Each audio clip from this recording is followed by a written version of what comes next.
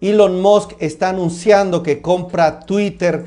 Platícame por favor cómo se está dando esta noticia, qué pasó en un minuto, porque también ya tenemos otras entrevistas, por favor, Margarita.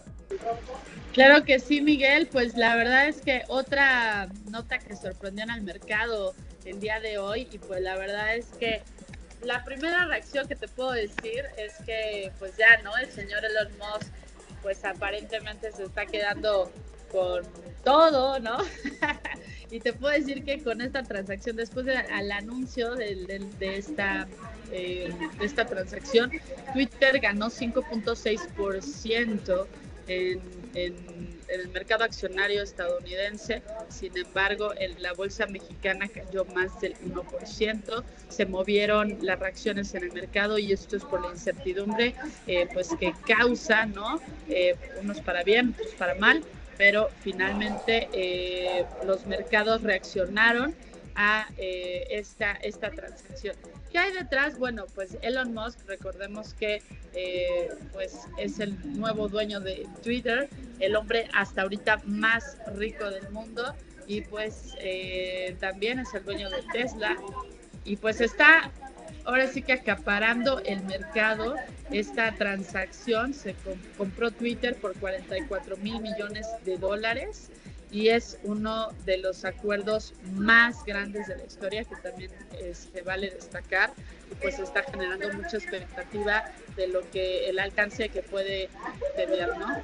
Eh, pues otra cosa que también te puedo comentar es que ha habido reacciones en las redes sociales, también así como en los mercados, de una opinión sobre todo enalteciendo el poder de Elon Musk como uno de los empresarios pues ya mucho más poderosos.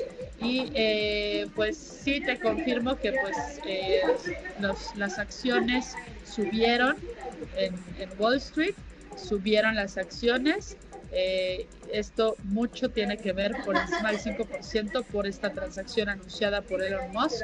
Por ejemplo, te cuento que el Standard Poor's subió 0.57%, el Dow Jones subió 0.70% y el Nasdaq fue el que más ganó por 1.29%. Esto en Estados Unidos y parece entonces que los inversionistas recibieron bien la noticia, posicionando por supuesto de por sí, ya estaba posicionado el señor Elon Musk pues ahora ya muy poderoso con Twitter, ganándose a Twitter. Así que hoy Mondelez y Elon Musk, pues los ganadores del día en el tema corporativo.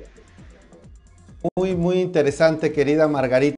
Interesante, querida Margarita. Te agradezco muchísimo estos dos temas. Margarita Jasso es periodista especializada en negocios, editora en diversas publicaciones, periodista especializada en cobertura financiera y bueno, ahora también hablándonos de este tema corporativo. Gracias Margarita por esta plática. Te mando un fuerte abrazo, amiga.